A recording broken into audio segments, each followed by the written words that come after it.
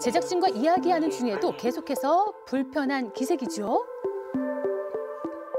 저 죄송한데 저기 약 좀 먹고 할게요. 저 평소 심한 속쓰림 증상을 앓고 있다는 여혜나 씨. 좋다는 건 챙기고 있지만 그때뿐이라고 하루에. 한 두세 번씩 먹고 만약에 진짜 쓰리다 그러면은 그때서도 이제 꺼내서 먹고 그래요. 집에 위장약이 떨어질 날이 없습니다. 속이 이렇게 되게 거북하고 되게 쓰리고 자다가 속이 너무 아파서 어, 새벽에 맨날 자주 깨고 그러니까 그게 너무 힘든 거예요.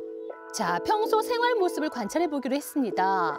아침 식사 대신 사과를 즐겨 먹는다고 제가 하는데요. 아침을 주로 안 먹어서 깎아 먹으면 되게 좋다고 하더라고요 사과가 속에도 좋고 부담이 안 가서 이렇게 먹고 있어요. 계속되는 속쓰림 증상과 복부 통증, 나아질 기미 없이 불편함이 계속될 때면 꼭 찾는 것이 바로 우유라고 하는데요.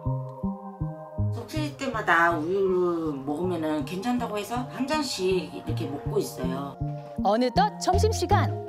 평소 위 건강을 위해 자극적인 음식은 최대한 피하고 있다는데요.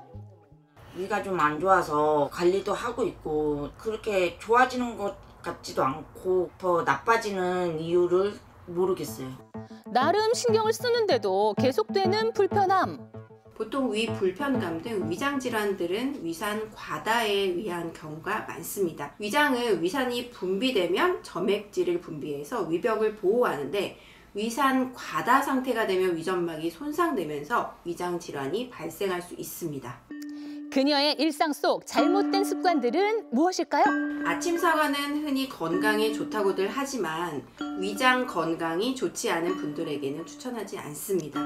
사과를 비롯해 오렌지, 자몽과 같이 산도가 높은 과일은 위산 분비를 촉진시켜서 위산 과다를 촉진시킬 수 있기 때문입니다. 우유가 알칼리성이기 때문에 속이 쓰릴 때 마시면 위산을 중화시킨다고 알고 계시는 분들이 많이 계시는데요. 우유에 함유된 칼슘과 단백질은 위산 분비를 더욱 촉진시키기 때문에 속쓰림이 더 심해질 수 있습니다.